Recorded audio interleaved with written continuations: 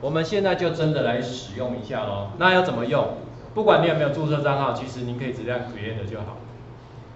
那只是差在什么？就是有注册账号，有一些功能你可以用到。那第一次呢进来的时候，他问你，请问你是要标准的立方体，还是空白的，还是你把外面的 3D 模型交进来，或者你把图档交进来，直接变 logo 也可以。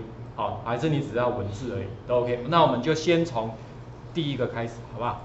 哎，你就先选第一个标准的立方体。那它这个立方体大概多大？大概。这个就是六十四 mini，就是六点四公分。如果呢，老师对这个概念不是很清楚的，我拿一个给你看，差不多安呢，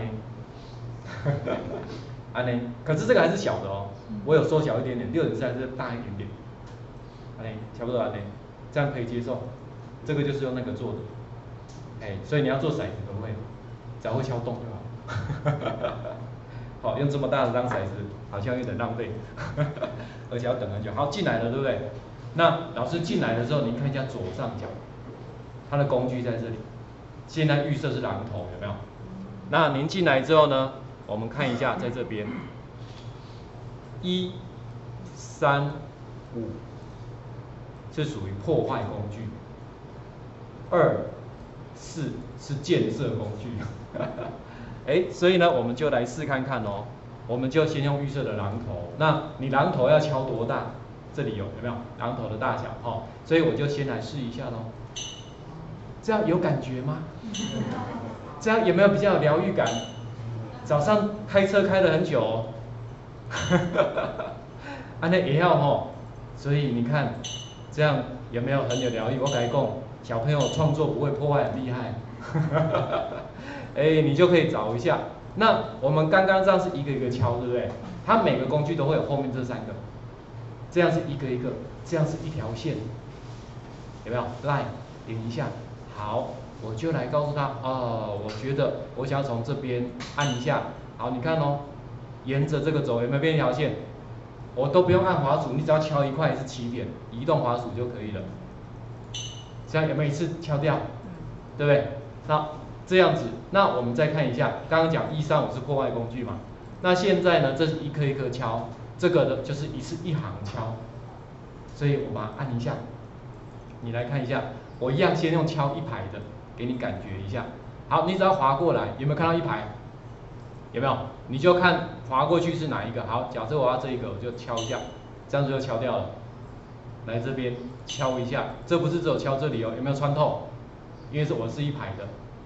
这样会的哈，好，来，那我把它敲敲好一点哈，这里我就敲掉，敲掉，敲掉，这样是一个一个，你可以搭配这个，好，就是我只要敲一个，就是一连排的，这样，OK，有了，这里再敲一下，好，现在呢，我们来看看第五个哦，一三五嘛，对，破坏，好，那刚刚一次一个一排，这样如果你觉得还不够的。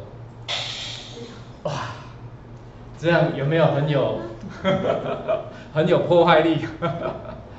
我刚刚特别把两个分模型分开，为什么？因为这样它会敲掉分开的模型。如果你没有分开，你应该知道结果会怎么样吧？整块不见了，对不对？啊，那裂要哈，所以啊，整块不见怎么办？要会找回来。来来来，请从这里，它有右上角这里有没有 N 度？好，这是一个方式，一次还原一个。如果呢，你觉得我已经错太多了，没关系，人生重来一次，打开这里，有没有？开始新的模型，按一下，然后你告诉他我要建立一个新的，有没有回来了？好，所以如果你不小心，通通破坏掉了，你可以这样敲敲敲，这样 OK 吗？哎，那既然我们讲了破坏工具，我们顺便讲一下建设工具好了。好，你看我刚刚像这样子，你这样敲，但是老师要记得哦，这个大小是可以变的哦。就这个敲的这个大小，八代表什么？你一次敲是八厘米的立方块，所以有些地方你要敲小一点，就自己选小一点。好，要大一点就敲大一点。好，所以我这边我就先一样，噔噔噔。好，那我现在呢，假设我这样敲出来了，敲，敲，好。那如果说，哎，我现在用所谓的修补工具，我们在这边二跟四是修补工具，二跟四呢就是要补颜色的，好，就补这个色块的。但是老师要留意一下，因为你是要补东西，所以它就有颜色的不同，有没有？下面有八个颜色，你可以从这里面去挑，看你要哪一个颜色。但是有一个要注意一下，如果你要挑的不是这里面的颜色，是自定的，很抱歉，这付费。哎，你就没办法用哈，你就是只能挑这八种颜色。其实老实讲，事实上是没什么关系啦。为什么？反正你印出来都一样的颜色。所以呢，如果你要敲，比如说我现在预设是黑红的，我这样一补进来，有没有补一个是红的？对不对？你要这边加进来，好，那有时候你会遇到这个问题哦。你看一下，它上面有一个提示，告诉你说，你现在做的这个已经超过你的工作区喽。要不要把它延伸出来？有没有？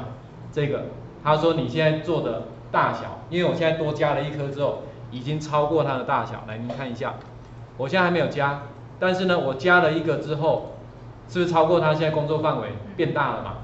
那如果按确定，你会发现哦，它会看起来像模型变小哦。你看有没有看起来像模型变小？但是不是模型变小，是比例变小。因为你注意下面，有没有发现我下面已经从六十四变一二八了？因为我原本是什么六十四来还原一下，有没有原本是六十四？你只是靠的比较近看，但是因为你变大了，变大了，它就帮你加一倍出来，所以你的模型没有变小，只是比例变小而已。这样了解？好，这个您可以稍微留意一下哈，稍微留意一下。所以如果你要一次补一颗，就像这样。那如果一次要补很多颗，你应该知道用这一种，用八好了。点一下，好，过来过来，有没有这样一次补三颗？对不对？